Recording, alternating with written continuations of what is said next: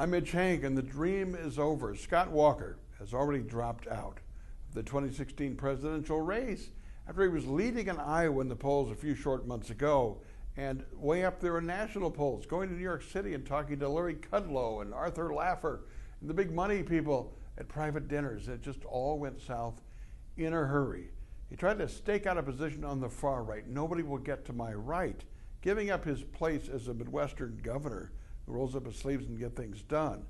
Maybe if he talked about the fact that 30% voting from unions, crossover voting, or even some Democrats, that kind of thing, or that he was standing up to unions and trying to take care of the taxpayers and hit the property tax thing harder, we can all second guess.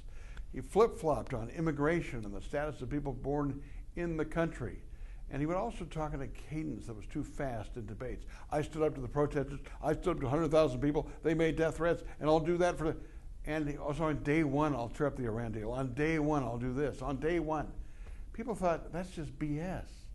He should have just looked in the camera and done the Clint Eastwood thing instead of doing that cadence like at a Waukesha County rally. Hey, I stood up to the unions. They got pretty intense, threatened my family, but I said no the taxpayers are in charge, and that's what happened in Wisconsin. And maybe rattle off a few things about how school districts might have saved money on Act 10. Do something and slow down. Talk to the camera instead of talking at the camera. Cokie Roberts of ABC News said he lacked gravitas. He, Scott Walker, she said, just doesn't have it. He's only good in the minor leagues. Well, the dream is gone. It can go quickly, but if you're going to run for president, you better bring your A game. My two cents. My two minutes are brought to you by Edge Construction and Capital Consultants, Bill McCoshen, a lobbyist who gets things done downtown. We could talk about this tomorrow on the radio at 8 o'clock on 92.1 FM, The Mic, The Mitch Henck Show. We'll talk.